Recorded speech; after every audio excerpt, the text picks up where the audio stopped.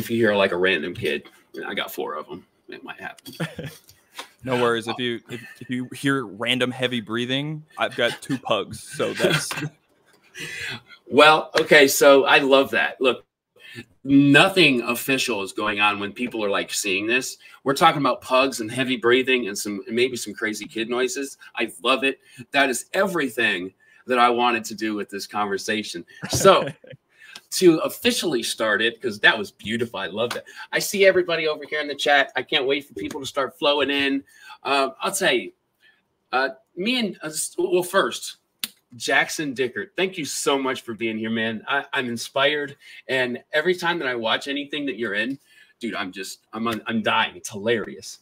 Oh, thank you very much, man. I, thank you very much for for having me on. It's awesome. I think this is the this is the first uh like Pern related thing I've I've done outside of Perns. Oh wow, I feel yeah. honored then. Yeah, that's what I'm saying. I'm honored. Uh, nobody else just, cared, man. No, I'm just kidding. Uh, I, am doing something with um, Nicholas Fuller in uh, May, I think. So you guys weirdly reached out at like the same time. I have to say, and I was telling my wife, who, by the way, I'm going to tell on her. She's on the comments as bookish mama. So boom, right on there. I'm full disclosure kind of guy. I look, my sleeves are gone. Uh, you know, that's just kind of, you can see my book is here. You know, I'm an open guy. So yeah. uh, I told on the wifey, she's here. Thank you, baby. Um, but I have to say, I was telling her earlier because, man, I love the funny, I love the humor, I love the comedy, I love anything that has to do with you know books, fantasy, sci-fi, that kind of thing, of course. But man, when when I see the human side of somebody and just the small serious part of this conversation, I'm going to get it over with, and then we'll do some funny stuff. Man, I have to say, I appreciate anybody and everybody who sent me nice messages while I was laid up. Jackson, you were one of those. I just wanted to thank you, man. Thank you so much. That really encouraged me while I was down, and I wanted to tell you face to face. Yeah, man. I mean, listen, uh, uh myself, uh, my whole family, like we've we've all dealt with so much uh, medical stuff. You know, it's it's never fun. It's always miserable, and like I, I don't think I've ever been in the hospital as long as you are. So I, I legitimately, I, I cannot imagine. That would be really hard. So I had a lot of reading time. Well, and it's wild, you know, you were reading the whole time and, and you were like still like messaging people to like let them know, like, don't let me know you're in the hospital. Just get better, you know? Uh, oh, man. Uh, well, so, I, I, I, mean, it's, you came back swinging too, like right on we're it. We're here. So I yeah. just wanted to get that. I wanted not only just, you know, to tell you face to face, but let you know people people care about that human side of a booktuber or an artist or you know so that's kind of just my thanks to you um, but my my biggest reason i would say uh, you know for me reaching out and just being um, just I love the channel. I love and and then I you know as I've learned more about you, I love what you're doing as a whole. And we'll get into that. And Bell too, thank you, man. Brian Bell, wonderful channel. Thank you to, for uh, dropping by. Appreciate you. Um, but yeah, so again, I'm I'm kind of running around the topic here, but I love laughing, and I, I found it that it was harder for me to do that for a while. So finding your channel was refreshing. Um, so I'm going to kind of get into some things that I learned about you uh, after you know watching that first amazing video. Again, we'll get into that too. You're a University of Tennessee grad with a degree in kinesiology. Would you tell everybody what that is? It's just the study of exercise science. They they want it to sound a lot fancier than it really is, but it's it's not. It's the study of how the body moves. That's it. And that it's very interesting, but I find it even more interesting what um yeah, you've led uh, in your life to do. Um, and you're part of this software that I recently was I was actually gifted like uh, obviously you know the manuscript like you I got a like a lifetime um, unlimited manuscript it was a very nice Christmas gift and and I started using that before I even knew that hi, my I, name's Jackson. I told him he could say hi and he showed up What's like up? that's my son Jackson that's my very that's first awesome. baby it's so nice to meet you, Jackson. Thank you. We, we, need more Jacksons in the world. We're gonna take over.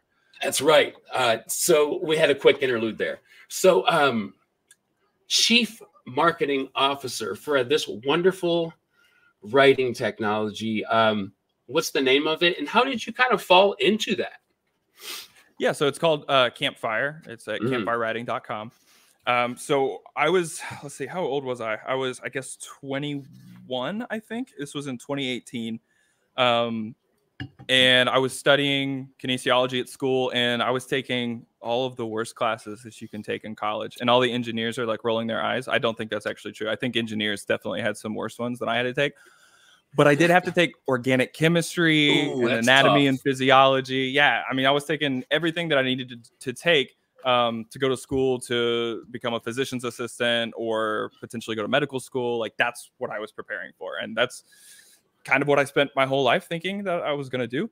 Um, and I got this job at the university library where they kind of just paid me to sit in a room and make sure you know nothing went wrong it was very low key. I had lots of free time, so like I got paid to do. It was one of those jobs you get paid to just do your homework. That's, that's the purpose of the job at the university. And um, while I was at the job, like I did my homework, and then when I was done doing my homework, I played Hollow Knight, and I beat Hollow Knight, and I was like, well, what do I do with my time now? Um, and so I was I was looking for like side hustles. Uh, you know, I was I was following like a lot of like finance guru YouTubers, which I'm glad I'm kind of out of the hustle culture phase of life now. But um, I was like, I was like, I should be making the most of this time, and I, I, you know, I could try like audio transcribing. So I tried audio transcribing while I was there. So it's like I'm getting paid to get paid to do another job. It's genius. And you know th- that didn't uh, pay that well. Like, it just wasn't worth doing. Um, and so I ended up scrolling on Reddit one day and I came across this post of uh, this guy who was like, "Yeah, I'm working on this um, like software for uh, screenwriters, and like uh, I I built it. Like, what do you guys think?" I went and looked at it, and I was like, "I have ADHD. This and so for context too." I have a minor in creative writing because that's like always been the passion, right? The the MD or the PA that was going to be what paid the bills, but then um, I've you know would love to write full time, right? Who wouldn't? Sure. It's great. Yeah, dude. Um, so I looked at this and I was like, I have ADHD. I have trouble keeping track of you know all the different things going on in a story at times. Uh, this looks really cool. I've never seen anything like it. So I went and looked at it and I was like, you know, it's missing a lot of stuff that like writers need. Um, you know, I think there's ways that I can help make this better, basically. And so I reached out to the guy. Um, we got to talking, and um, eventually, somehow, I talked my way into getting paid um, a hundred dollars a week for the first two weeks, uh, just to like work on like the marketing to try to help him sell it. Because I don't think he was having a ton of luck. He was really focused on just making a cool, good thing. Mm-hmm. Um, and since I, you know, had a good sense of you know where writers were hanging out online, since I was one um, I was able to help a lot with that. And so pretty quickly we um, started selling more and more. Ended up, um, you know, we we made it official, created an LLC, and uh, here we are today. So the the lesson is absolutely just shoot your shot because you might just send a random message to somebody on Reddit and it changes your entire life. I mean, so. Uh, there's a few things that I'm going to touch on, and I'm, thank you for kind of diving into that, man. That's that journey that I found out I love hearing about because uh, it, it is almost cliche. Well, it is cliche. We hear it all the time, but it's it's true. It's uh, that journey to what we think we're going to do, or that journey that we inevitably take, uh, is man, oftentimes my favorite part of interviews. So thank you for um, kind of diving into that. And I think it took real cojones to say, look, I, I really like what you're doing, um, but also and I can I can see how somebody who isn't open to and I'm not I'm obviously uh, so who was first I'm gonna slow down the gentleman that made the software who you uh, reached out to or who reached out to you who, what was what's his name so his name is Jason Lauro so at, at the time that I reached out you know I, I wasn't reaching out because I wanted a job um, that wasn't really the goal. My I, I reached out because I was like, this looks interesting, and I've not seen anything that does this like this. Um, and I'd like to help make it better. You know. Um, yeah. So it's Jason. I, am putting myself in Jason's position, and that's kind of where I was going with. Uh, it's like somebody who you so let me get this straight again. You reached out to him? I did, yes. Okay, so you're reaching out to him and you're like, man, I really like what you're doing. Um, I'm I'm a little more familiar uh, where with where uh, writers are hanging out. Uh, so the marketing aspect, and also I think that um, you're doing this well. But here's how we can improve. That's a very humble uh, and informational and, and so valuable uh, person to have in your life, man. So uh, that's brave. Uh, that's maybe not always easy to do. Say, hey, I love what you're doing, but um, you know, let these steps could make it better. So that's really cool, man. Um, I have to say, I've tried a bunch of uh, as an aspiring writer. I, it's funny I'm saying that because I am just at the very baby steps of this, and and you don't really realize that as a writer until like you try it, and it's like, oh wow, this is this is a process, and I had no idea what I thought this was going to be like. Um, so building softwares like Campfire. Um, what are a couple others that are out there? Uh, is a really big one. They've been yes. around for years and years. So I try. I think that was the first one I tried. Of course, then just like regular Word. I can't keep organized organized enough to just use Word. I know there's a lot of old school guys uh, out there that probably want to punch me. Uh, but and, and I honestly feel like when I get on Campfire and I can organize my thoughts and um, you know list my manuscripts, uh, and then there's character pages that go in depth. Uh, for somebody like me who has trouble concentrating as well, you know, uh, all through school, just knowing the subjects but unable to test, you know, I can relate with you in that ADHD sense. Um, so I think what you're doing is very valuable. It's reaching some um, these people who are writing uh, in a passionate area, and uh, I'm I'm amazed by it. Really, it's it's very inspiring. Uh, I, I, may hold the next part even more, uh, even higher though. It's a quest for the Golden Plunger. My man's yes, an author, sir. so yes, sir. We'll start kind of at the beginning. When did you find this love for literature? Um, kind of, I'll give you an example of kind of where I what uh, what I'm aiming for. So, me, I, I did not read as a young man. Uh, I found my love for literature at 29. Where did that begin for you? I so far back that I, I couldn't put an age on it. I couldn't put a number on it. Um, I I think uh, my we were a big movie family and especially a big Lord of the Rings family. Yes. And so I was absolutely allowed to watch Lord of the Rings at too young an age. I remember there was a little while I wasn't allowed to watch them anymore because I would have nightmares about Aragorn chopping my head off, like he chopped Lurtz Lurtz's head off. He was uh, a gangster. It, it was, and you know, I, I had nightmares as like a four year old or five year old, however old I was. Hold on, are you younger than me? Uh, I'm 35 this year or 34 this year. Yeah, yeah, I'm younger. Okay, gotcha. I thought we were going to be like the same age, but man, I've just proven to be the bald headed old man. Sorry, continue. no, you're fine. You're fine. Uh, and so I mean we were we were definitely like the family that like every weekend we turn on Lord of the Rings and we just watch like we marathon the movies again. Um and so that quickly my my parents capitalized on that. Well, I actually I think I was somewhat reluctant to start reading. Uh, the way that they got me into reading was they put a Game Boy in my hands, Ooh. and uh, they gave me I got Pokemon Crystal. That was my first game, yes. I loved Pokemon. I loved the show, and um, as a kid, I was I, got, I kept getting stuck and wouldn't know what to happen, like what was going on, and they like forced me to learn to read through playing Pokemon, essentially. So that's kind of where that started, I guess. And then you know I started reading like The Hobbit and stuff later on. I think there was a year, or I think just in elementary school, in the third grade at least. Um, I got in trouble for going to the library too much. Like I'd finish my Whoa. work yeah, it was. How dare you? This is. I, I know it's one of these places where like I recognize the school system failed me in so many ways, because like I would finish my work, um, and I don't I don't think I was like smarter or anything else. I think I just wasn't being challenged very much, and so I'd finish my work really quickly for the day, and um, with ADHD, right? Like we like to gamify things. If you can oh. like if you can say do this thing and you can have magic points. Uh, yeah, I want the magic. So we literally had this program at our school called Accelerated Reader, where you'd read a book from the library and then you take a test on the content of the book, and uh, you got points based on how well you tested and like on like what you read essentially. And so with as somebody with ADHD, I was like, this is incredible. So I would go to the library all day back and forth reading as much as I could to get those points as high as I could. Because uh, at the end of the like school year, you got to trade them in for like candy and toys and stuff. Heck and yeah. yeah.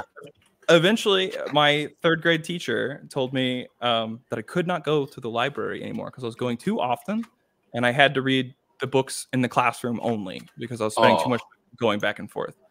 So I read all the books in the classroom and I got all the way through the F's in the dictionary before she let me go back. Oh, so I love a couple things. Look, if you can kind of brag this, like, not saying you are bragging, but I would. Like, I got in trouble because I was in this, the, the, library too much. What's up, guys? Like, what did you get in trouble for? Like, putting gum in it's, people's hair?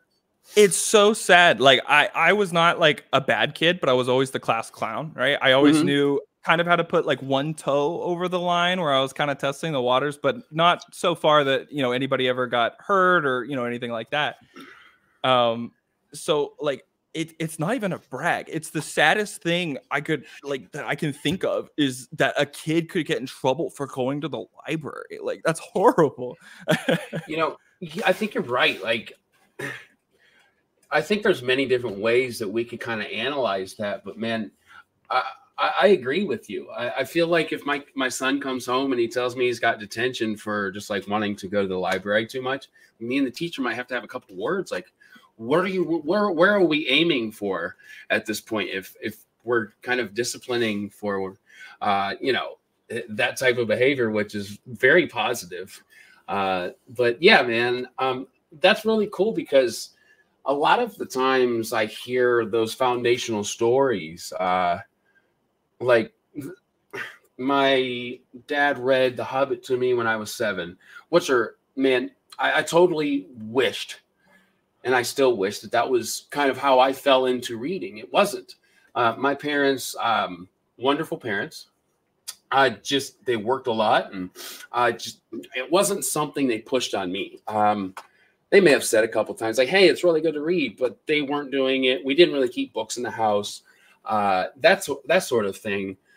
So to find that later in life, I think there's two ways I look at it. Uh, when I hear a story like yours or somebody else who found it when they were young, the first, because my head tends to go towards optimism, uh, and I'm glad that I'm that way because lots of people aren't. But uh, the optimism in me goes, well, I, I get to read these books that I hear so many wonderful influence about for the first time uh, eh, that you know a lot of people have already read. But then I find myself in the middle of like a review, whether it's like a recorded, which I haven't done many of, excuse me, or a written. Uh, and I'm like, you know, the lack of experience, and I've been told I'm wrong, but I feel like I, I'll, never get out of this stage where I don't feel comfortable talking about a book. I don't know why. I know how it made me feel, uh, but for some reason, I feel I have to be like super technical about it. Uh, this trope and uh, this character arc and um, you know this plot and this. It, I feel like I, I put too much weight on my shoulders. So having that experience, I think, is beneficial when it comes to reviews in particular, um, just from my experience. So I, I definitely uh, enjoy those foundational stories. For uh, the quest for the golden plunger, how old were you when you started writing that? When uh, you published it? Well, really quick, I'll also just say, um, as far as like the the review stuff goes that you're talking about, I would I would say, and you didn't ask, but I'll say it anyway. The the the most important part about a book is just the way that it makes you feel. You know, that's that's the whole point that's the reason they tell the stories in the first place is mm. how does it make you feel so you know it you don't have to be breaking down every trope or every character arc and getting really technical i think the most important thing is you know how did it make you feel while you were reading it and you know if if you were interested and engaged and you know you cried and i mean then you read a good book, right? Yeah. Uh, thank you, fantasy book critic, man. Uh, one of the valued, wonderful human beings in this uh, community. Gosh, there's so many of them, though. There um, are. Hey, but hey, here. Yeah, that's my guy. And, and, I didn't even know. Like, I, I took. So I was having a chat with uh, John Morrow, uh, Beth uh, Tabler, and Mihir, and I, I really just I had had previous talks with um, Beth and John, and I was like, you know, I need to have Mihir in here. I've heard so much uh, wonderful things about him. He's such a good guy. I guy. can't wait he's to have so, him back, man. He's he's, he's, so nice. Dude. He is. And he, he has is. like super cool uh, Joe Abercrombie books that I'm like not jealous over or anything. Anytime I see like the broken binding uh, editions of uh, Joe Abercrombie, because I have to say I just got um, able to be in the subscription for Broken Binding and I'm so happy. I can't wait. Uh, the first one's going to be uh, the Lies of Locke Lamora. Uh, it's going to be so fun. But uh, anytime I see the the Joe Abercrombie editions, along with many others, I'm like, oh, I wish I would have learned about that. You know, this list a long time ago. Um, his editions are much cooler, though. I have to say. So thank you for being here, my guy, and I can't wait to chat with you again. Um, so, okay, so we'll get back into kind of what you do and some more serious questions. Um, but I'm gonna I'm gonna take a left turn. Oh, I was gonna say I I, I didn't wasn't planning on uh, dodging your quest of the golden plunger question too. Uh, oh, uh, I, you know what? My brain's mush. Please answer that first. I'm so sorry. Yeah, no go worries. into go into when you like started that and then published it. Yeah, so I, I started that um, in college uh, while I was getting that that creative writing minor. I I started so I guess it was actually it was probably around 2018 because I had spent the summer of 2018 re- trying to write a fantasy novel essentially, um, and it was so bad. It was so bad. Was it man. your first one? Yeah, it was the first time I'd ever That's tried to write a book. Yeah, right. And that's what, you know, I I was writing it and like as I was writing it, I was like this is excellent. And then like I got to I think about a 100 pages in and then I was like time to go back and time to you know assess what have I Who's this George R. R. Martin dude? He got shit on me. Uh, yeah, and then uh I went back and read it and I was like this is not good. Uh and so I, I was in my creative writing class at the time and um I was like I asked my creative writing professor, you know, what should I do? This is terrible, but I need to have something for everybody to critique because my thing was coming up, and I was like, "This is ter- this is terrible. There's no point in having them critique this. This is a waste." So it was an assignment. Yeah, yeah, it was okay. an it was a, well, I had been writing it in advance because I knew in the fall that we were going to have this class where like we could submit lots of stuff to be critiqued. So I wanted to have a good bit of stuff like ready to go, it polished up good, and it was not good, and it was not going to get polished um, and so I asked him, I was like, this just isn't good. And he, he was kind of one of these like old school professors where he, was not into fantasy. He did not like fantasy. Uh, there was me okay. and like one other guy writing fantasy in the class. And he was kind of like, this is not real literature.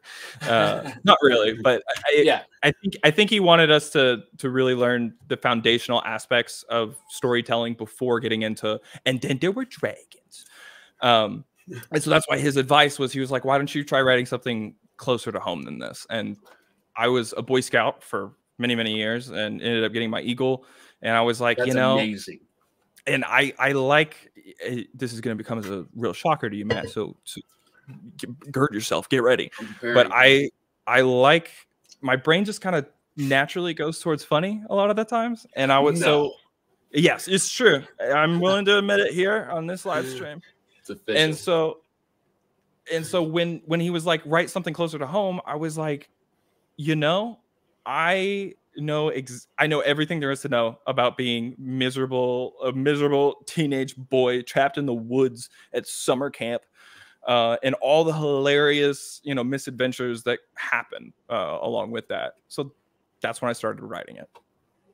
I, I really so a couple things. Uh, it's funny when you've got a, a, a channel for a little bit. I don't know if you've already noticed, like you catch yourself saying same things over again, like not necessarily repetitiously, but like I I always like after somebody tells me a really good story, I'm like, a couple things. Anyway, I just noticed that all of a sudden in the moment. But a couple things. Uh, I like that you did what you wanted to do um, with writing uh, your first book as a, uh, a fantasy book and kind of taking that shot. And honestly, who writes their first book and is like, you know, I'm really liking how this is going. So, but also how you knew that you were going to be critiqued. And as somebody who wants to write, I'm thinking in my mind when I hear this from you, I want to find, and there's so many people now, you know, being a part of this community. Uh, but say I wasn't, uh, there's not a lot of people who maybe aren't in this community that are writing that aren't able to find that critique, um, or maybe that honest critique. Sounds like this professor was quite honest. Uh, he wasn't afraid to tell you maybe how he felt about uh, the written word. No, not at all. I mean, and I think that's really important. Like that's probably the most important thing about a critique partner is they, Oof. you know, you're if, if they don't tell you how it is and they don't if they don't say the hard things to you, then you're going to hear them from reviewers, right? Mm. So there, if if you don't tell somebody, you know, this is bad, or you don't have to say that, right? You can say this is not working, you know, or you can find nice ways to put it, but like if they're if they're not telling you that, you're going to find it out a much harder way. Um, so it, it's it's important to find people that will give it to you yeah. straight. I I heard somebody. I wish I could give them credit, but I don't remember who said it to me. Uh, it was like you can be kind without being nice. Uh, it's sure. like you can give constructive criticism kindly. Uh, yes. Uh, that may not be nice, um, but it, I don't think people are always looking, especially serious writers, uh, are always looking for a nice response. It's like let's just be honest, because if you don't tell me, like you said, I'm going to self-publish a book or I'm going to uh, send this to a publisher, whatever the route uh, said writer is taking, uh, and, and, hear it eventually. Um, so let's use our time constructively and, and let's get to the bottom of it because I want to be better. Uh, I think that's a wonderful point, man. I'm glad that we covered that. Um, uh, so, uh, how old were you when you started it? I don't know if you said that. 18? Um, I guess I, I was probably 20 when I started writing the Quest for the Golden Plunger. Okay. And when you published it? I think I was 22 or 23. I think I was. Pro- I think I think I think I was probably 23. That's actually really impressive, man. Because um, you know, there's those crazy people that are like, you know, I I write a book a year uh, or every six months, uh, and, and honestly, from watching your show, I found out there's a woman out there who what her writes very ambitiously. You had a list, and I was like blown away. I'd never heard of this woman, but kudos to her. Absolutely. Yeah. What was her name, by the way? Uh, Corín Tellado. Dude, I one of the, the things romance now, writers or something else. They are. And the and the court stenographers, you hit a point that my mind had been on like for years. Like so it's like okay, we hear Brandon and uh, Brandon Sanderson, we hear Joe Abercrombie. How fa- we're interested in how fast they write, right? Uh, right. Because we want to be like them. But look, nobody's got on uh, like the game, the writing game on lock, like a court stenographer. And, and it's funny, man. Like I heard you talking about that, and I really was paying attention. I was like, here's a point that uh, I had naturally went a long time ago because my mom and dad were kind of in the. Uh, my dad was a firefighter. My mom worked. Um, she was a dispatcher for the police. So I heard of how fast they were. Um, so that's where I went. I was glad you covered it. Um, thank you for covering your. Uh, I, we'll kind of maybe dive in a little deeper into your writing process, but I, am glad you covered when you started and when you finished, kind of the situation you were in, um, going into the quest for the golden plunger, and how you ultimately took what you were familiar with I think that's very important. We'll kind of get into that to uh, here soon. Um, but here was a question that my mushy mind went to before I I, I heard your answer. Uh, how scared were you when? Oh, dude, Brandon I was. Sanderson threatened your life. Dude, I was I was quaking in my boots. I was quaking in my boots. I was in that man's lair, and he looked on at his me couch, Tommy. On his couch, and you know what? He's faster than he looks. You know, he's he's quick. You've never seen an adult man move so fast in your life. Oh, The ma- he- he's he's built like a cheetah. That's why that's why he wears the the the, the suit jacket so you can't tell. oh, covering He's it built out. for speed. That's why he writes so fast. But it doesn't just extend to his fingers; it extends to his legs, to everything. I it's like uh, that's the first thing that you show on the video. I was like, oh my goodness. So I'm interested. and then uh, I just love your demeanor. I was telling you a little bit before. Um, it takes lots of skill, guys, and and nerve, uh, because I've tried it and failed miserably to like be funny and or like have that awkward moment and stare people in the eyes, dude. Look, Jackson is a he, he's got that steel nerve. Uh, he's gonna stare you in the eye to get that humor across, and I think that's hilarious. That's that's what I pull out the most. Um, it's you, hilarious, of course. Uh, my guy David List, he does um, well. First, he's an author um, and does a podcast with me, uh, DB Rook, another self-published author, and Tom Bookbeard, who is uh, a reviewer and soon-to-be um, author. So, Violence and Vigilance, uh, written by David List, and he says, "Long time no see, Matt, my guy. I'm so glad to be back talking with people. This is my favorite thing. Like, like, eh, like I've got my list, like my family, you know, my wife, my kids. That's that's obviously the top of my list. But like, um, hearing people and their human journeys, you know, particularly in this writing uh, community, and uh, whether it's reviewer, author, uh, what have you, it's just so fun to me and I could do it all day long. Um, and I had no idea. Like this niche, I started the channel. It's like "Ah, I'm just going to review a couple books here and there. I like to read all of a sudden, so let's just do some reviews. Um, but falling into talking with people, especially live, nothing's more human. Like my camera's died. Like my my everything's happened. Like if you think of it, it's happened. I've probably had a booger um, or two. you know, um, I've definitely like spilled drinks. So it's just it's the most honest way to talk to people. Um, Yeah. but so that's great, man. I'm guessing that you. How did you meet Brandon? Before I say, I'm I was going to guess through your your software that you uh, market uh, through, but is that true?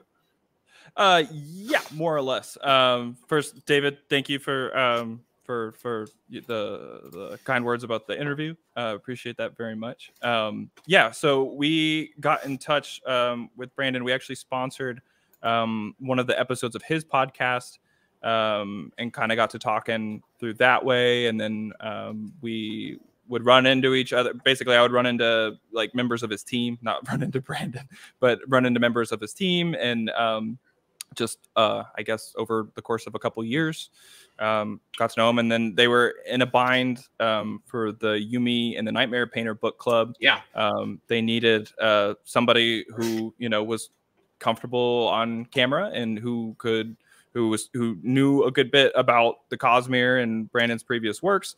Um, and I happened to be at the right place at the right time, and I was like, I can do that. And uh, so that's that's how I ended up being there to do the interview. Uh, while we were there, uh, they were like, they were very graciously. It was, I mean, it was so kind uh, that they were like, you guys can all have an opportunity to make a piece of content with Brandon. oh and- wow! Yeah, and so I, I, Hell yeah! yeah, I, I did not realize that, did not know that that was even going to be a thing until like that day.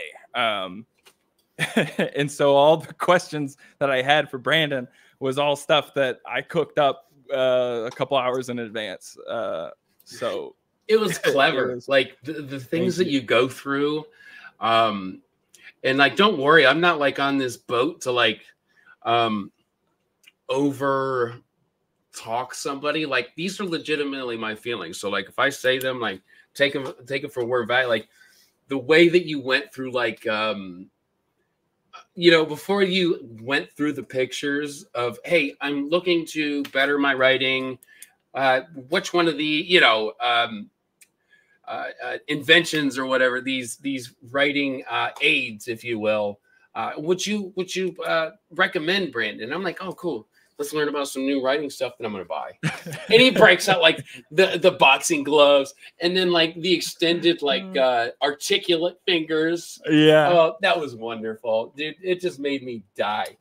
Um, so I see some wonderful comments over here. My guy um, from uh, Samoki Dude and my brain's mush, so I forget your name. Uh, Britain, my guy Britain. Uh, Mr. Dickert, is your name a reference? No. Uh, I'm sorry, I didn't mean Between Two Fires by Christopher Buehlman. Answer that, my friend. Yeah, uh, so it's actually a reference to um, Zach Galifianakis did a uh, show called Between Two Ferns, and it's it's the same format where he would look at like Matthew McConaughey and say stuff like, "Matthew, if you weren't so good looking, do you think you could even be an actor? Because you're such a terrible actor. So like that's all you have going for you." And then the Perns is um, from Anne McCaffrey's Dragon Riders of Pern, and um, everybody's always you know joking about how'd you come up with the name brandon came up with the name about 10 seconds before we started the interview Oh wow. Yeah, I, like I wouldn't even have answered that question. I just I figured because I knew it was between two ferns. Like I'm a huge fan of Zach Galifianakis, but I had no idea that Brandon came up with that. Yeah yeah uh, he is the pun master there's no question about that he's because he was sitting there and he was like what's this called by the way? I was like i don't know i just came up with this two hours ago i don't know what it's called. Uh, which is never which is not something you want to have to look at brandon sanderson and say uh, he doesn't have a name. And he was like well hang on how can we make this a pun? And he i kid you not he thinks for like half a second he's like between two he was like okay you go to my library get two copies of, of dragon riders of pern and like the person like sprints away to go get it and they come back with three minutes later and they're in the background of that video if you if you look very close That is excellent. See me like Yeah, without knowing yeah. that story, I'm like. he grew up reading Anne McCaffrey. I have not read any Anne McCaffrey myself, um, but I want to very soon. And that was just my preconceived like assumption, like absolutely wrong assumptions. And I'm so glad that you went into that because I never would have asked you that. I don't know Yeah. why, but that's a great man. I love that, Brandon. Thank you, man. Uh, I think that um, you are the pun master now. I may have to agree with uh, Jackson here. Um, but that was a good question, uh, Britton, because I hadn't thought along those terms. But I have an unfair advantage um, just because I had been watching um, Between Two Ferns by Zach Galifianakis and knew that you you articulate and and mimic his uh, his comedy very well. I love it, and I have to say, uh, Zach does this like uh, who was it? Who's the chick that did um the the woman? I don't want to say chick. That's kind of, but anyway, the one that did uh, Hunger Games. oh um Was oh, it Jennifer can't- or yeah jennifer lawrence is that it Jennifer Lawrence? Yeah. Yeah. Um, I don't remember the the line exactly, um, but you guys should definitely go back and watch Between Two Ferns with Jennifer Lawrence. It is absolutely stellar. Uh, another good one is the Matthew McConaughey. But uh, moving on. Um, so some wonderful comments. Yes. Um, you know what I used to do when I first started is I wouldn't read these comments and I would throw them up, and a lot of the context is like between chatters, and it, it they really stumped me a, a few times. I, but I, I love this. Kenneth S. Jackson is very funny and okay. So you guys have met. That's wonderful. Uh, he was super kind to indulge me with the book uh, Chatter at Dra- Dragon Con. That was a very recent um, expedition you went on. How did that go? Uh, so yeah, that Dragon Con that was um, in September, um, and so that was good. Uh, that's the one. All, basically, all the videos from Jackson Ford all the way through Bryce O'Connor, I think, were all filmed at Dragon Con. I, I didn't step foot in. I mean, that's that's why they all have the same background, the same setup. I, I didn't even go to the con. Um, I went and hung out with people in the evenings, but I when I went to that con, um, I had no idea that I was going to be interviewing all the people that I was, and just kind of started meeting people, talking to people, and then I would stay up half the night and spend the entire day writing scripts and researching these people to do those interviews. So I, I never went to the con. Uh, I just hung out with people, and then I'd go research and write, and I was wrong. So like Dragon Con, I knew was last year. Um, the one that was just in Seattle. I don't know why I can't think of the name. Oh, Emerald City. To, is that the one that was just uh, like a couple weeks ago? Yeah, I went to Emerald City Comic Con. Is at the uh, beginning of March. Yeah. Okay, so how I, that's I got the two mixed up. How was that, man? Because um, I don't remember why. I, it was right before I got sick, and I was like, I wish I could be there. Who was uh, who were some of the guests? Uh man, there was a lot of like really cool people there. Um, the author of Divergent was there. Their name escapes me right now. Um, yeah. Rebecca Yarros, uh, Fourth yes. Wing was there. Um, they, I mean, there was a lot of people. Terry Brooks was there. Django oh, Wexler, wow. um, Caitlin Starling, um, Madeline Rowe. She was there. there Django was Wexler is one that um, is new on my radar to like pick up within the next couple months. Very yeah, excited have, about that. Yeah, yeah. So I have not. Uh, just a, a real quick, because people who have watched me know this, but uh, just a quick um, rundown. I have never been to any convention, um, I, and I have to. Uh, somebody said yes, David. Oh, Curran said it first. I was telling Jackson, I was like, you know, I was looking in my closet. I was, I got out the shower. I was like, what am I feeling? I was like feeling them stone cold vibes. I'm going kind of backwards with with that tire tonight. So thank you for noticing. Uh, uh, but uh, where was I? Lost track. Uh, talk about cons. Thank you. So I have not been uh, to any cons, and finding this love, you know, just a few few years ago, and finding those authors and and kind of the genre and the niches within those genres that I like to read. Uh, I, I, had never really thought about going to the cons. Uh, I'm hoping to go to Dragon Con this year. Um, me and my wife, you know, kind of both fell into reading about the same time. Uh, she wasn't a reader either. And I think she's able, like with her time right now, because at night she wakes up with the baby to feed her and she's got the Kindle. Uh, she actually probably reads more than I do at the moment. I'm very uh, jealous, other than the fact that I get more sleep than her. You know, there's that thing. But no, we found the love at the same time. And I hope that we get to do, I know that our first con will be together, obviously, but um, hopefully it's this year. Uh, are, do you plan on doing any conventions uh, the rest of uh, 2024? Oh, oh, man, are you kidding me? I am I am traveling. I think pretty much every month for the rest of the year, except for November. Um, I have a wow. I have a very very full schedule as far as cons and uh, like author meetups and that sort of thing. It's it's going to be exhausting. It's going to be fun, but it's going to yeah. be a lot. so I'm I, I, not knowing the answer before I you know ask that question. That is very exciting, and I wanted to ask you: Is it does it have to do with your company uh, that you work for? Does it have to do more with your personal life?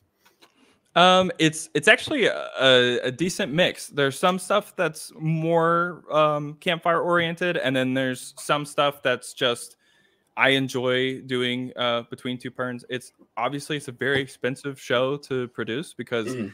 um, like I, I've had really um, high profile authors who have agreed to do interviews, but they want to do them digitally. And like I think digital works great for like something like what we're doing right now. We're just having like a conversation but i don't think that the humor and the comedy plays as well um, it doesn't. not in the same room. So that's uh that's kind of yeah um that's why I, I, I think the show to be good or, or as however good that it is uh it's it has to be like in person to to be able to work so. So again i'm going to go back to my saying a couple things uh, I think that you're right, but not only that, you're willing to say and and continue along that path because it's not the easy one. That's not the easy path. Um, it's not just an interview. Like um, I, for example, um, I'm going to go into what I was telling you behind um, backstage and how I really messed up, right? Because we, you, you're like, uh, I was hoping I didn't mess up uh, time zones. And it's like, oh, I got a story to tell you live. I didn't tell you backstage because, uh, anyway, uh, the interview of my lifetime. Um, the opportunity was given to me, um, and when I say the opportunity of a lifetime, I mean a legend author that I had no business uh, talking with because of my lack of um, reading experience, but I recognized and have read a couple of his books. But I did not worship this guy like um, a true fan of his does. Um, and I was an hour late. So I had agreed in my email with him, and I'll tell you his name in a second, uh, to do it at eight, like you and I did. And I'm checking my phone at 8:30 to get ready. And he's like, Where are you? I am not happy my whole stomach just like, oh, I did this thing right. Raymond E. Feist. And and I was just like, this guy's been writing for so long and he is a legend. And I mess up the time with I've never messed up the time with anybody else except the legend himself, Raymond E. Feist, which turned out to be um, one of my favorite interviews. He's one of the coolest dudes ever. He was uh, very nice, um, he had some fans that were like tuning in early, right? And uh, we're kind of banking on eight o'clock. So I get it. You know, these people are like all across the world, kind of, uh, you know, and he doesn't do interviews. I can't find one uh, to date. So uh, that just kind of shows you you can make a mistake as a human, recover, and it still be a wonderful uh, experience.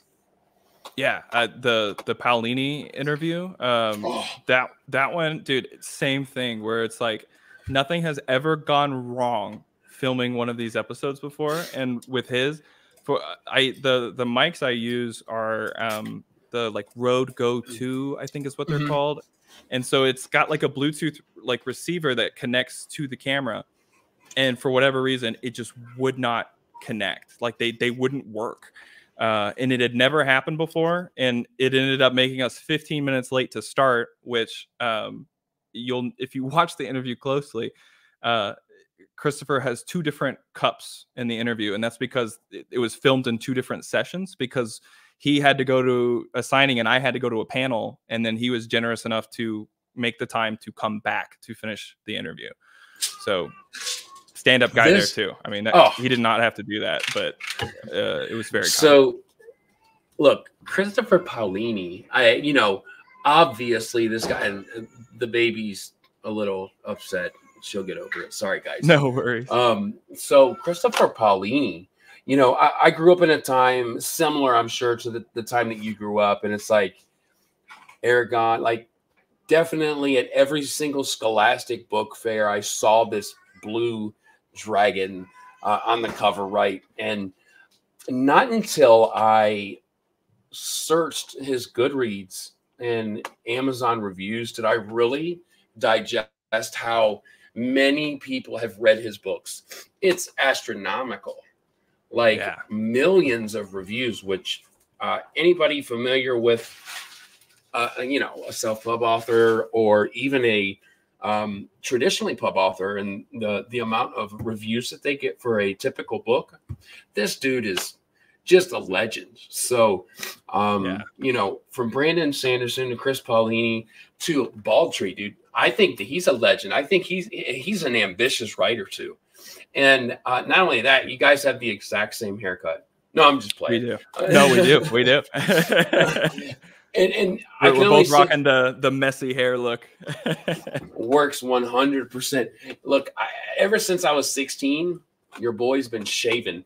I was telling um, Jackson guys who are who's listening, um, I had the Stone Cold vibes, and let's just face the facts that is not a new vibe. Uh, I remember graduating high school and just having like the receding hairline, and had to make that had to make that decision like what am i going to do? Have this like on the sides and look 47 when i'm 19 or i'm just going to just be a man and just shave it off and you know what i you're chose. rocking it man. You're rocking it. But um no i love that. So baldtree's uh, baldry baldtree I, I you know i'm confused on how to say his name but um i read uh legends and lattes and you know really enjoyed it and I thought your two um, the chemistry between you two was really good. Uh, he was open to your kind of humor and uh, kind of if what he was saying during the interview was true, I think that um, that's a huge honor for you because you know he talks about how he has imposter syndrome and you know along with that comes anxiety and and, and similar feelings and honestly it looked like the most natural conversation. It it really was. That was one i enjoyed a lot because he kept me on my toes. Oh like really? he, yeah oh yeah he gave because he was given the chaotic energy right back.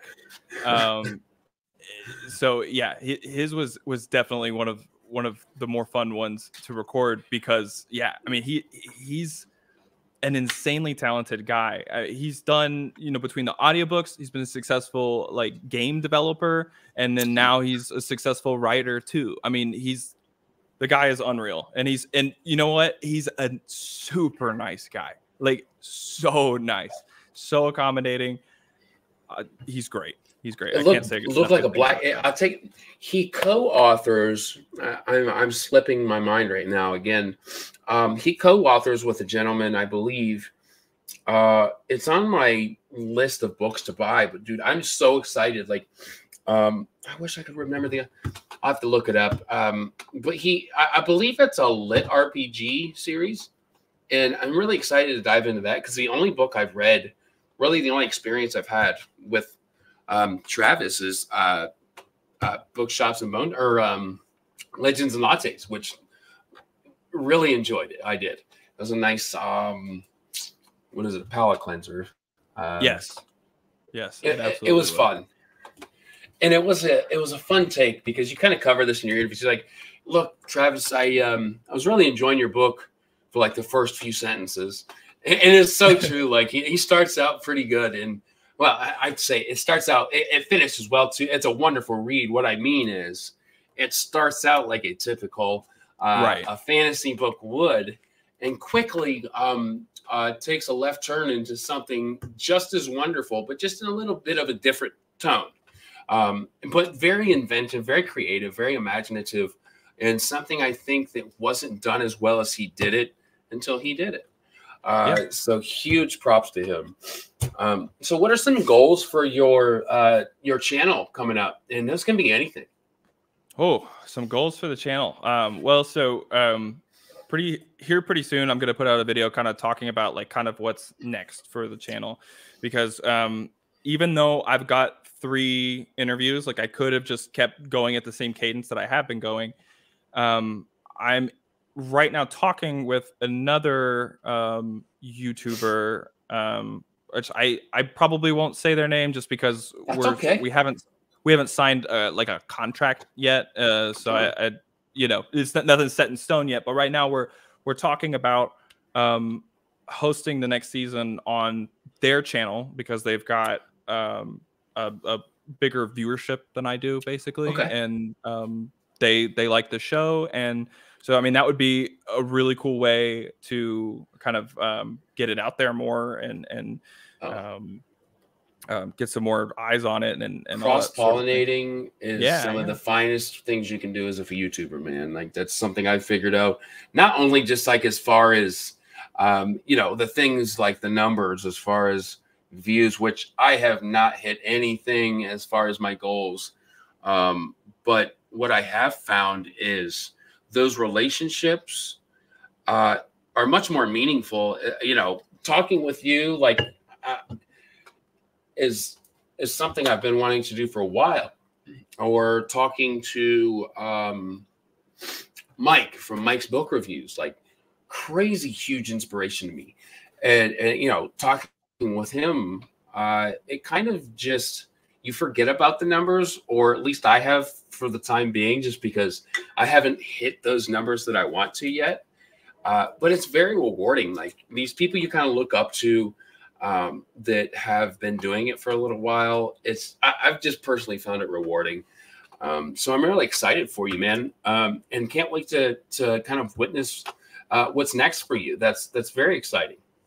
Yeah, I, I totally agree. Uh, I I would definitely say like it's it's all this stuff is like a labor of love. You know, we do it because we enjoy it. We do it for the for the intrinsic value. Now, would it be nice if the videos got enough views to pay for the plane ticket to go do the interview in the hotel room Word. that's necessary? Like, yes, that would be that would be nice. But um, realistically, like I do this because it's fun. I, I do this because I like the art that I'm creating, and I'm proud of what I'm creating. And I've got a bunch of other silly, dumb, stupid, book oriented you know comedy stuff that I'm thinking about doing. So outside of Perns, so we'll we'll see That's what happens. Fun, man.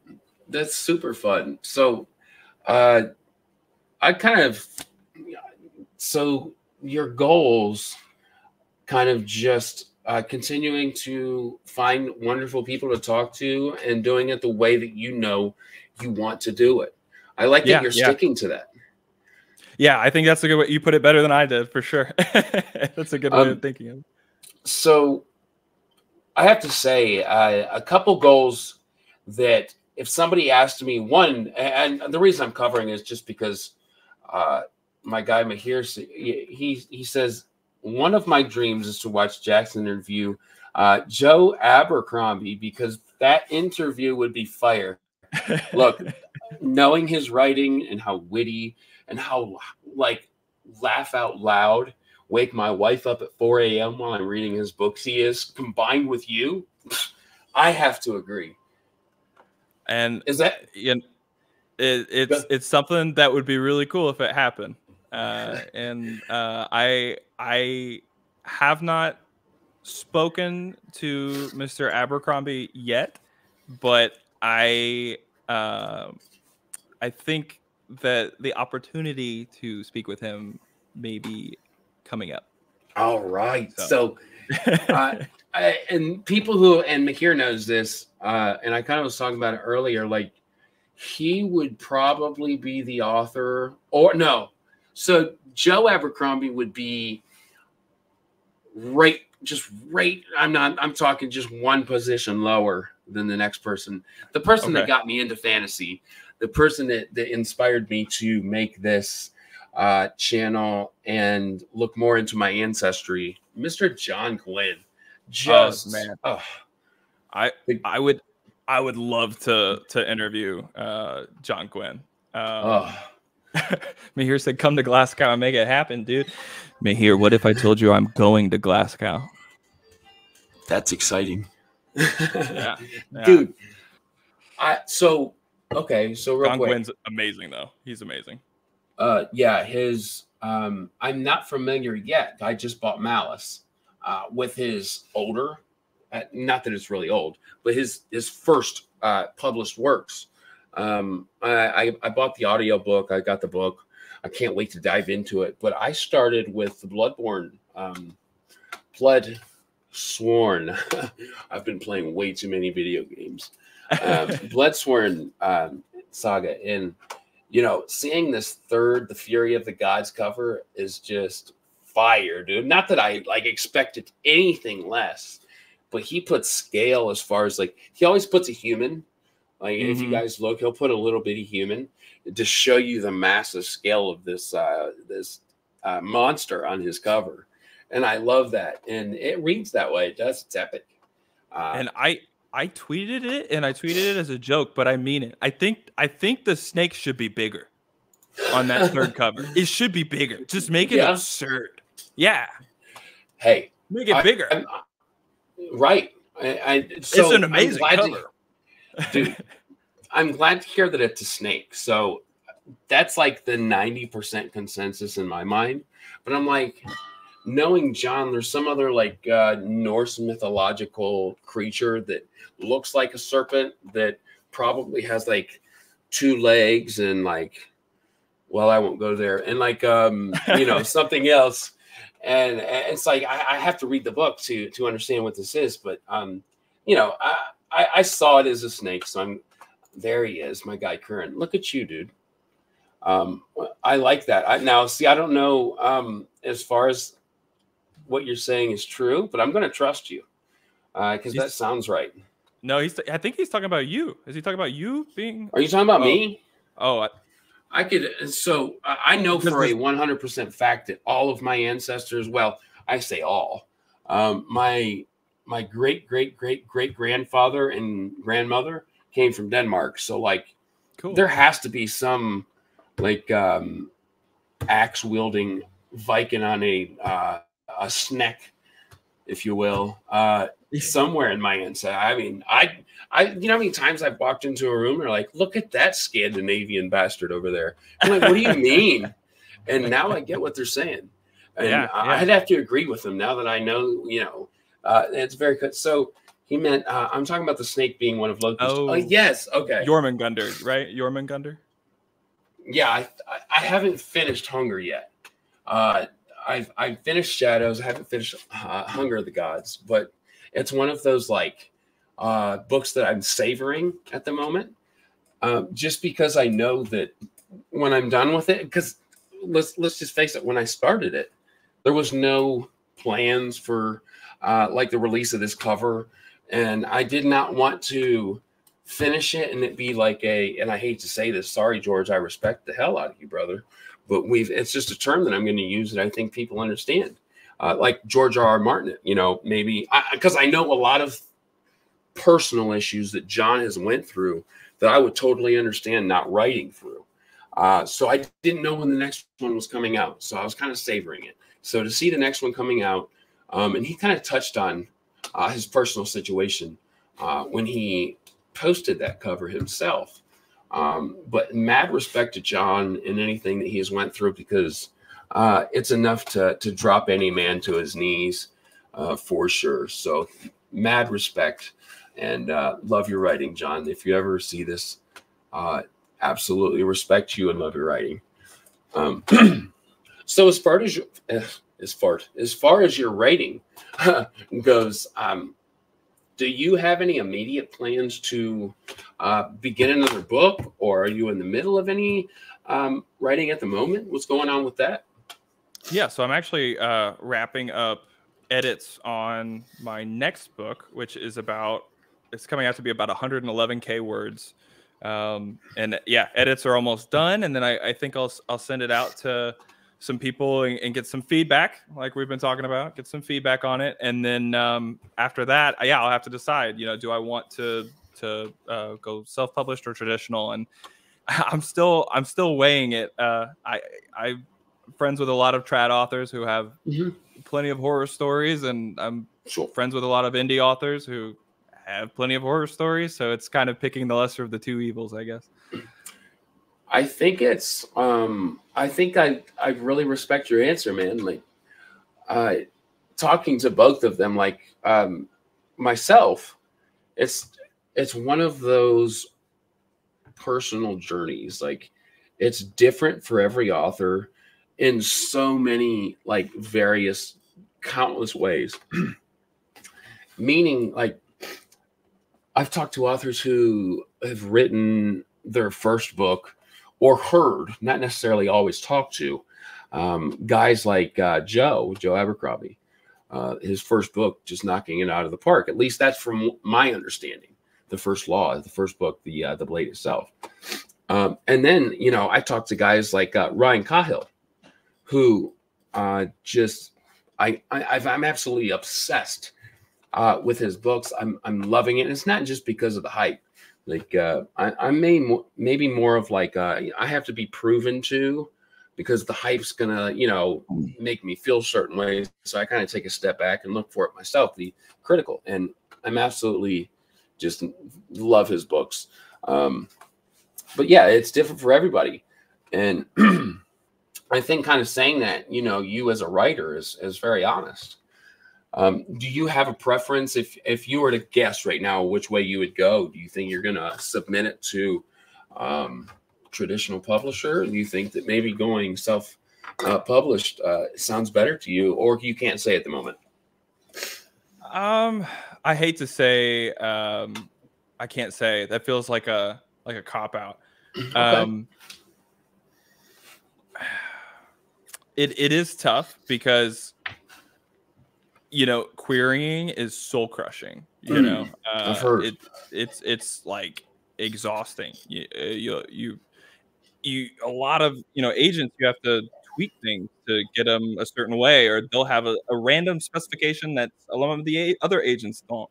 And those things, those these little changes, they build up and they take a lot of time.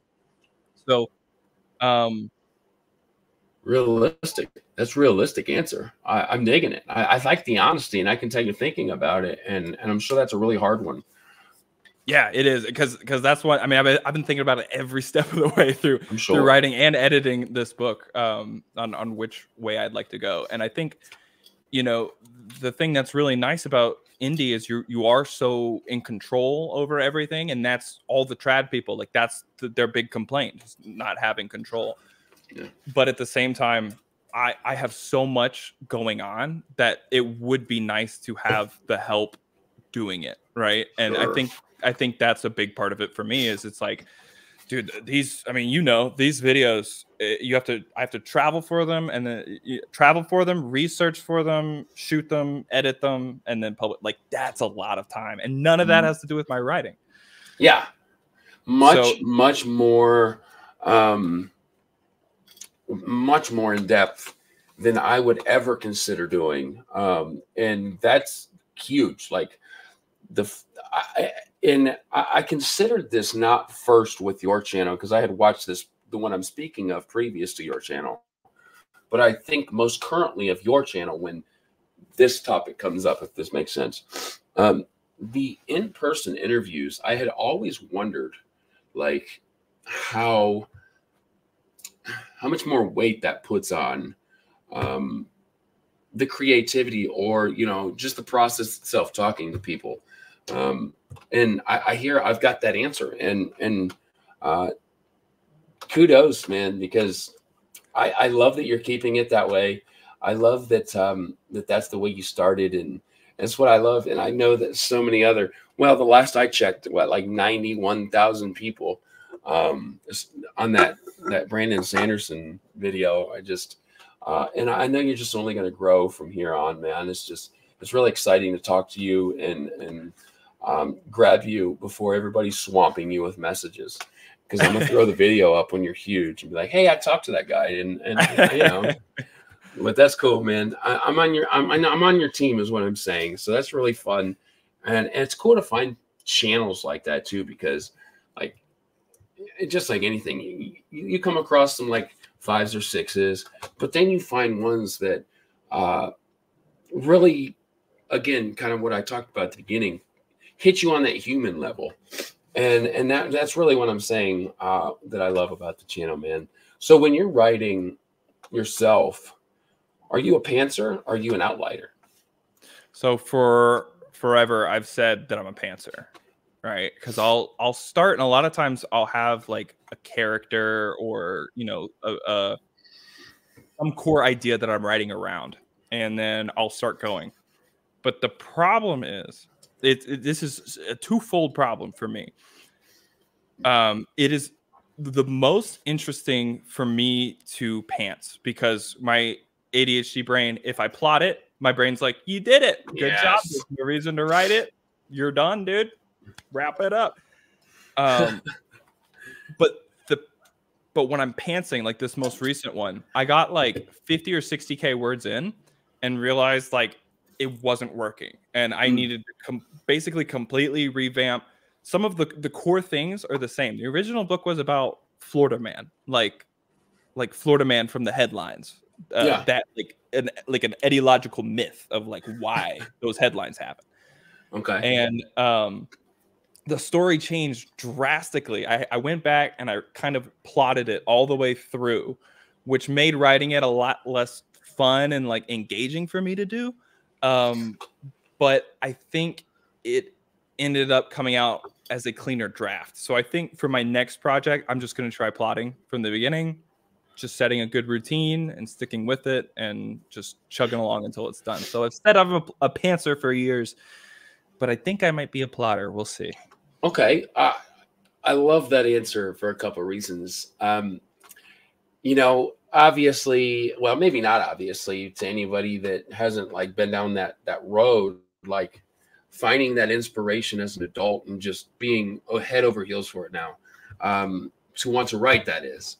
Uh, I want to be able to do and and have people look at my written word the way that I look at my favorites, right? I think that's all of our who aspire to write's goal. And I was like, you know, Stephen King's a pantser and he's the OG. Um, there's some other guys like um, there's a self-help author who I'm sure you've heard of, um, John Palladino, and he wrote uh, the tragedy of Sedanus. He, he's finishing it right now, the third book, and he's a, a perfect mix of like Joe Abercrombie and George R. Martin with some his own like uh, unique spin on things. And he does POV chapters, which I've fallen in love with. I absolutely love a POV chapter book.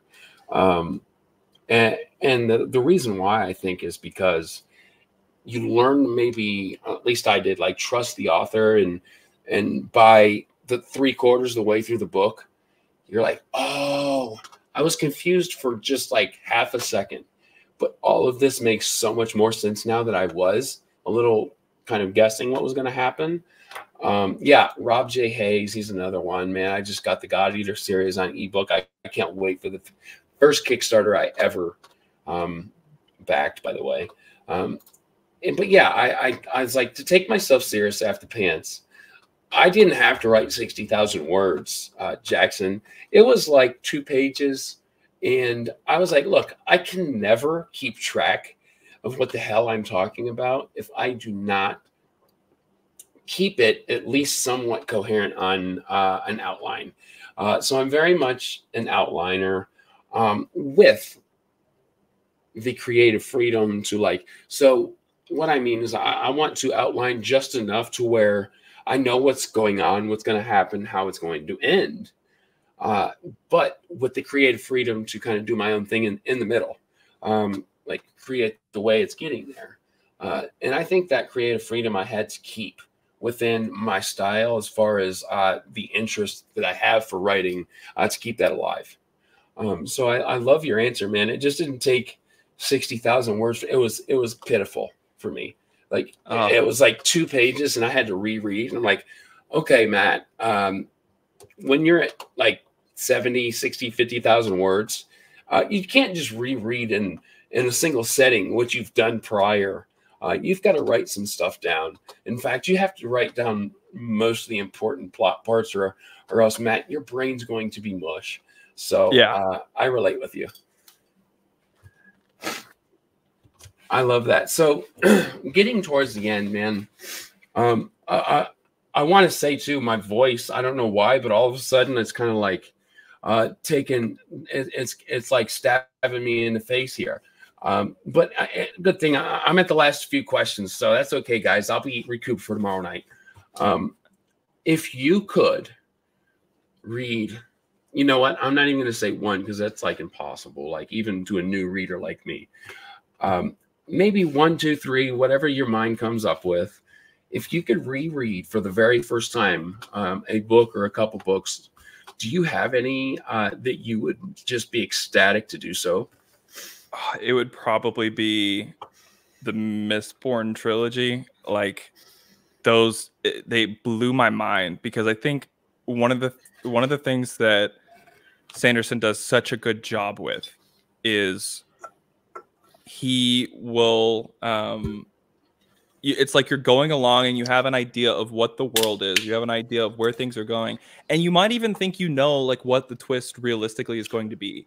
And like it's like the whole time your your world has been this straight line that is the plot. And it's like okay i see like what's happening and what's going on here. And then for me like multiple times during each like Mistborn book. It was like the world would go from one dimension to suddenly it's like okay, we we have more dimensions now. Like it, the world is bigger, it's more complex, it's more interesting, and it makes sense. Um, like when you read a mystery novel, there's like this type of mystery novel where the whole point is that it's fair to the reader where the reader can figure out who did the crime without the like uh detective you know explaining it all like you could okay. put it together feasibly not every book is like that and a, one thing that i really liked about mistborn was and I'm I am uh, infuriating to watch movies with. Uh, I, I know Brandon Sanderson is too, but I think my fiance can attest. You know, ten or fifteen minutes in the movie, I usually know how things are gonna go, or you know, you've ruined it. Yeah, yeah. I, I can I can usually figure it out in advance. Um, it's it's part of the fun for me is, is to figure out you know how is this going to happen. Sure. And so Mistborn was one that consistently I was never able to pin down, but it always felt fair. It never it, mm. it was like the tidbits were there every step of the way. Um, but like I just did not put them together correctly because it was like so creative and interesting, the actual solution. Mm. So Mistborn, easily Mistborn, the series. So I I'm there's many series like this too, like, but uh, you know, talking with people, I get, uh, you know, hearing what you have to say about Mistborn definitely puts um, reading that like a little higher on my, a lot higher on my list. Like I've got the audio book, like I'm ready to go uh, to kind of do like an immersion read. I've also got uh, The Way of Kings that I've heard uh, just wonderful things about that I can't wait to read. But, you know, I'm not versed on Brandon Sanderson. You know, I know he's an ambitious writer. I know so many people adore him. He's known for the Sanderlanche, the, the endings, kind of what you're saying, like everything coming together in a way that you never kind of put together. Uh, so yeah, thank you, man, because I'm very excited to dive in and and, and understand the hype, right?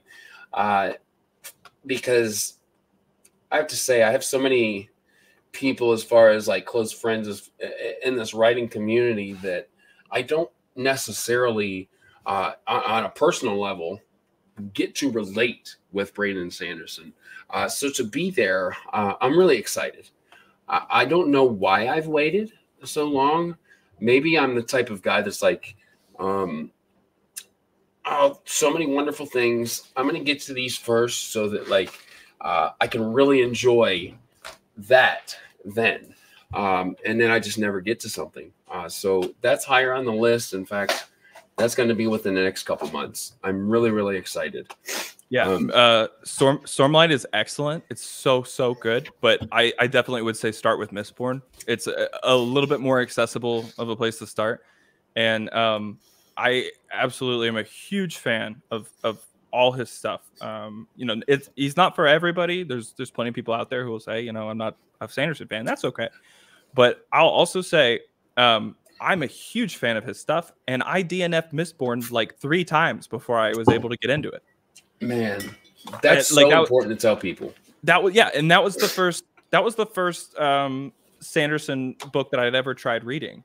And but like I kept hearing good stuff. I like the like the concept of the magic system a lot, um, and so I kept coming back. And I did the audiobook, um, mm. and it was like I kept just getting stuck. It was just not happening fast enough. I, I wasn't getting sucked into it. So, you know, it's like people recommend The Office and they're like, mm-hmm. yeah, man, you just got to get to season five and then it gets good. Mistborn gets good. You just got to get to like, you know, chapter like just a little more than like 10% of the way through. Uh, and okay. It, it starts picking up fast. So I'm, yeah, well, I don't know the percentage, but like, uh, well, I couldn't even tell you really like, yeah. So I couldn't even really. I know that some bad things are happening as far as the beginning of the book. Like there's slave type things going on, and there's lots of dust. Um, and then like something happens, and they kind of have to leave where they're at the beginning, and that's how new I am into the Mistborn. Like they're just now kind of taking off from this initial terrible spot that I don't know what the hell I'm talking about. Uh, so, so, I guess what I'm trying to say is I'm I'm I'm getting closer to where I think you are saying that it starts to get good. So I'm really excited. And honestly, like the blade itself, it, you know, they call Joe Abercrombie Lord of Grimdark. Look, I have read many many darker books, um, many darker books, and and although he's like Lord something I don't know if he's necessarily Lord Grimdark. Like, um, I would say John Palladino is definitely darker than him. Um, you've got Malazan, in which I have not read, that I'm assuming is much darker than than Joe Abercrombie.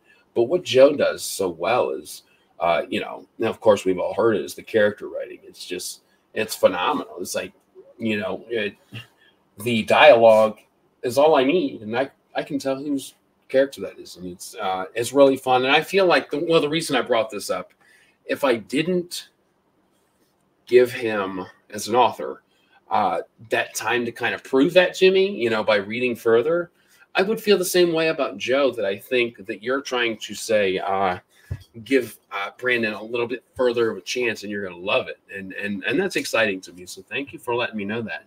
Yeah. Um, yeah. So uh, I think I want to finish with this. Like, what's up with you wanting to write a manta ray?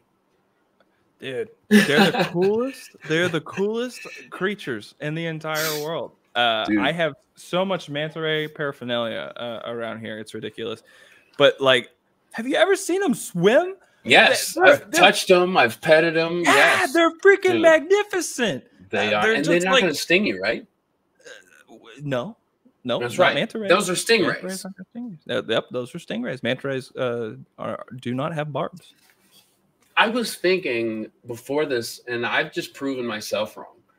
If you've ever watched the show, uh, now I may be still wrong, so people don't fact check me or do and tell me, because I would actually rather you do that, tell me that I'm wrong, and, and I can do the right research.